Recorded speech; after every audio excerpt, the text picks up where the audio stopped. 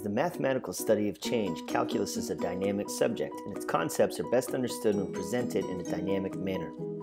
Cengage Learning's innovative Explore It tools help students to visualize the course's complex topics through hands-on exploration and interactive simulation. Concepts are presented using relevant real-world examples and applications, allowing students to make the leap from mechanical skill to true conceptual understanding and letting them share in the excitement that comes with discovery. Explore It modules require no downloads, installations, or plugins of any kind and are indeed mobile friendly, providing students with a great study resource while on the go.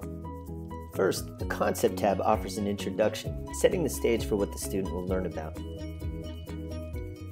Example videos then allow for self-guided instruction, providing additional context and meaning to the hands-on activity that will follow.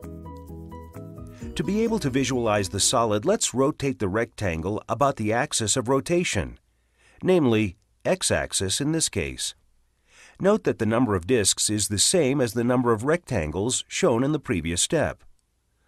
Also, observe the change as we increase the number of rectangles from 5 to 10 to 25. Students then explore and test with the fully interactive simulation. Guided explorations direct them where to go and tell them what to do, while asking them questions along the way to ensure they're making the appropriate connections. These automatically graded exercises are available in the WebAssign platform, allowing you, if desired, to include them in assignments that your students will complete outside of the classroom. Finally, examples of real-world applications relevant to a wide variety of careers and industries answer the question, when would I use this?